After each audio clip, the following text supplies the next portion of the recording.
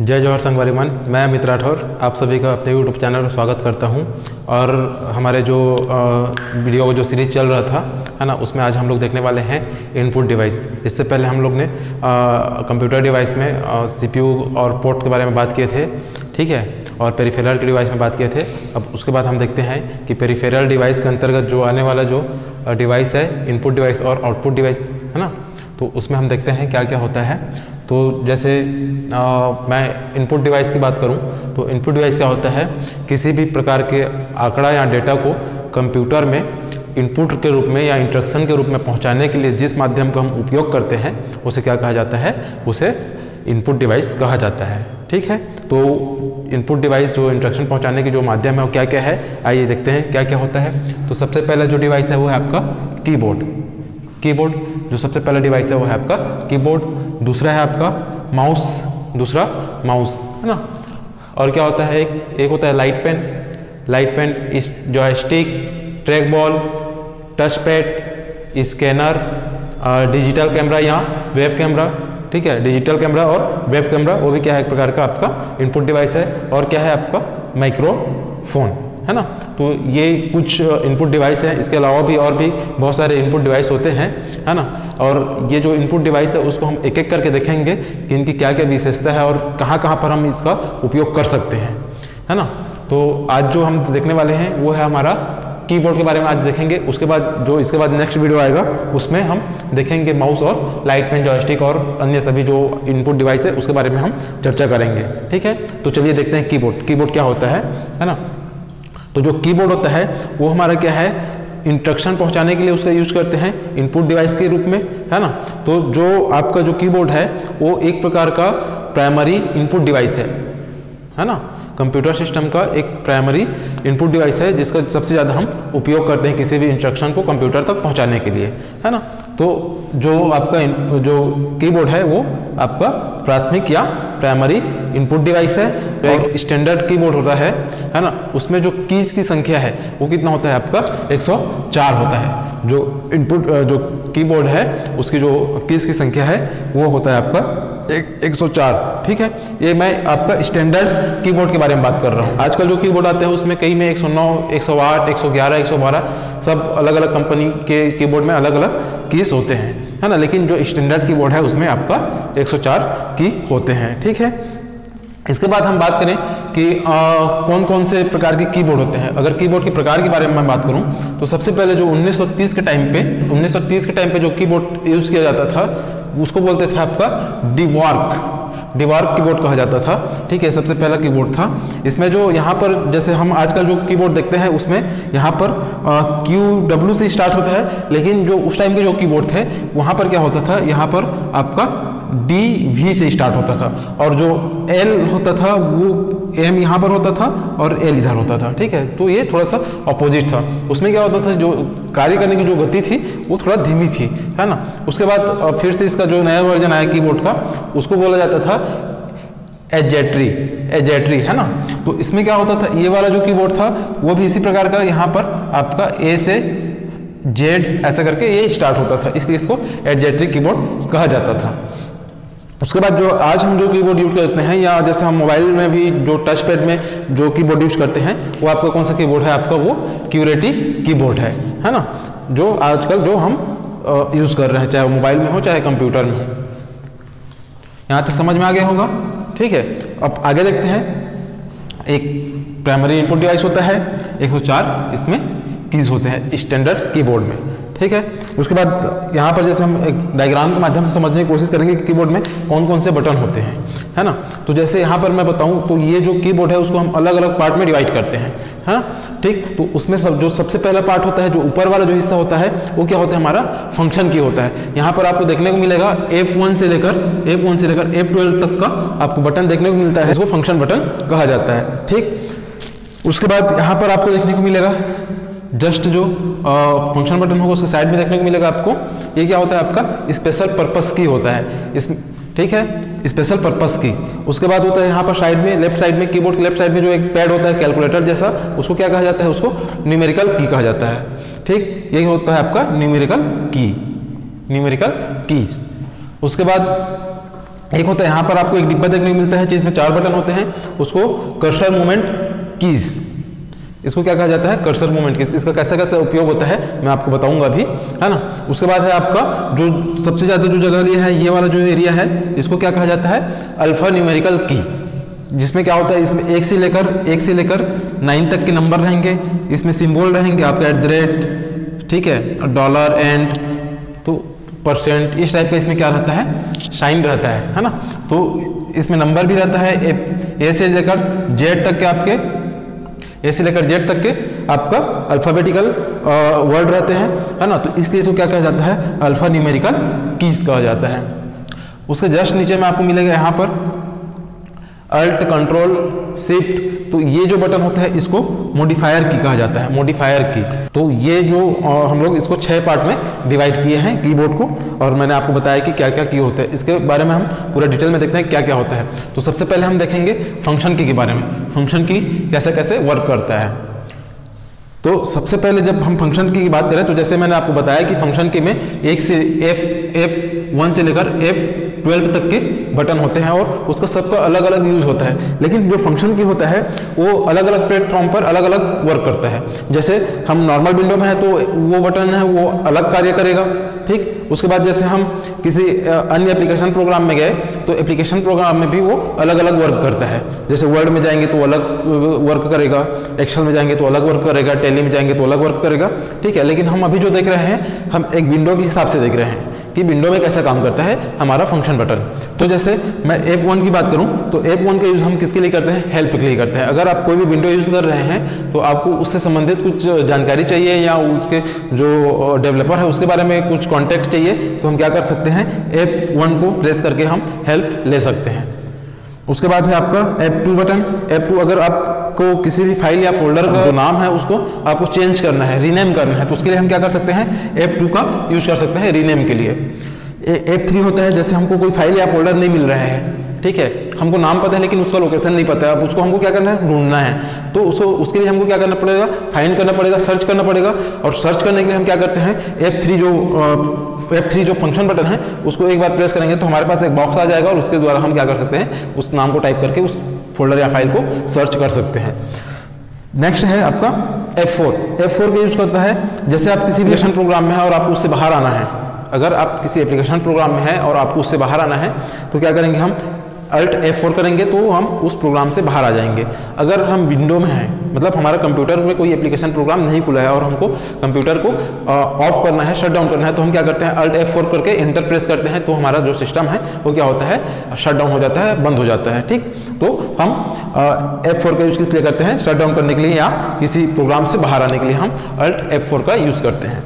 उसके बाद है एफ़ फाइव एफ़ फाइव क्या होता है आपका? रिफ्रेश रिफ्रेश करने के लिए तरोताज़ा करने के लिए जैसे सिस्टम क्या होता है चलते चलते स्लो हो जाता है है ना? या जैसे जैसे हम मानो हम कुछ काम करते करते करते करते थक जाते हैं तो थोड़ा सा आलस हो जाते हैं और फिर हमारा जो स्पीड होता है कार, काम करने का वो क्या होता है थोड़ा सा धीमे हो जाते हैं। तो फिर हम क्या करते हैं कुछ थोड़ा सा उठ के टहलते हैं या चेहरा होते हैं तो उससे क्या होता है, हमको थोड़ा सा रिफ्रेशमेंट लगता है, थोड़ा तरोताज़ा होता है। उसी प्रकार से कंप्यूटर में भी क्या होता है, जब वो कार्य करते करते थोड़ा उसका प्रोसेसर ज़्यादा बिज़ी हो जाता है तो उसको रिफ्रेश करते हैं और रिफ्रेश करने के लिए हम किसका यूज़ करते हैं? आपका F5 बटन का यूज़ करते हैं।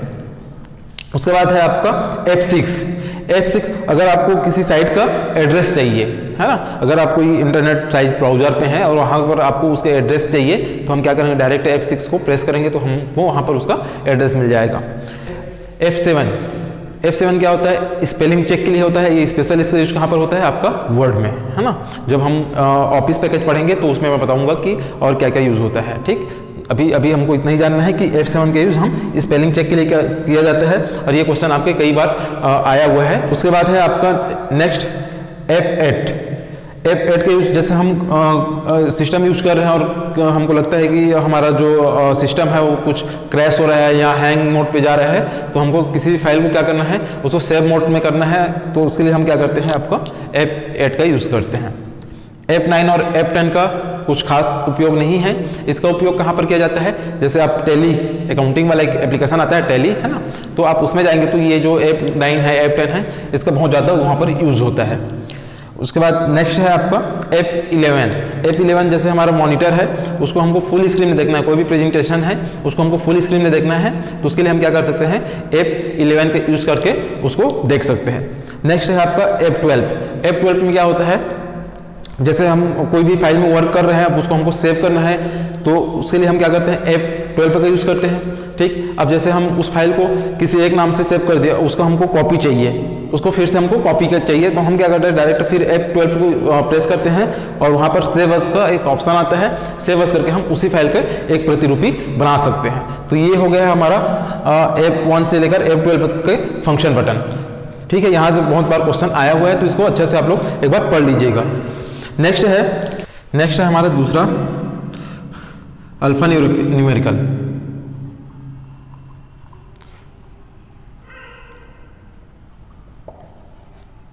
अल्फ़ा न्यूमेरिकल ठीक है नेक्स्ट हमारा क्या है? अल्फ़ा न्यूमेरिकल अल्फ़ा न्यूमेरिकल में क्या होता है? अल्फ़ा न्यूमेरिकल में आपका ए से लेकर ए से लेकर जेड तक के कीज होंगे, ठीक है? उसके अलावा और क्या होता है?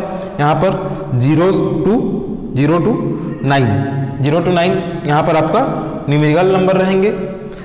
इसके अलावा आपको स्पेशल जो सिंबल होते हैं, जैसे मान के चलिए कि and dollar percent asterisk hash है ना? तो इस प्रकार के जो सिंबल है, वो हमको कहाँ पर मिलेगा? ये वाला जो भाग है कीबोर्ड का, जो अल्फान्यूमेरिकल वाला, वहाँ पर हमको ये मिलेगा। ठीक है? उसके बाद नेक्स्ट है आपका जो तीसरा है, वो है special special purpose purpose key. Special purpose key. Special purpose key में क्या होता है? यहाँ पर जैसे चार पाँच बटन दे रहते हैं, उसमें आपका delete home end page up page down और आपका इंशर्ट प्रिंट स्क्रॉल ये सारी चीज़ यहाँ पर दिए रहते हैं, है ना? उसको सबको अलग अलग यूज़ होता है। जैसे आपको इंसर्ट में इंसर्ट करोगे तो कोई आप कंटेंट कॉपी किए रहेंगे, उसको आप डायरेक्ट एक बटन प्रेस करके उसको इंसर्ट कर सकते हैं। यहाँ पर अप एंड डाउन का अगर आपको वेब ब्राउज़र में है तो आपको जैसे उस पेज के अप जाना है तो अप दबाएँगे तो वो ऑटोमेटिक स्क्रॉल होने लगेगा डाउन करेंगे तो नीचे आएगा, है ना? उसी प्रकार होम और इंड रहता है।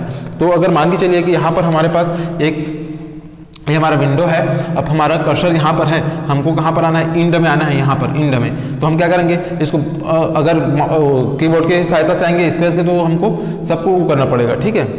मतलब धीरे धीरे आएँगे, अगर कीबोर्ड के। अगर डायरेक्ट हम एक बटन यहाँ पर इंड को दबाते हैं तो हम डायरेक्ट कहाँ पर पहुँच जाएँगे? यहाँ पर पहुँच जाएँगे, है ना? और ये होता है आपका होम तो ये आपका special purpose key special purpose की बात नेक्स्ट जो है नेक्स्ट है आपका जो चौथा है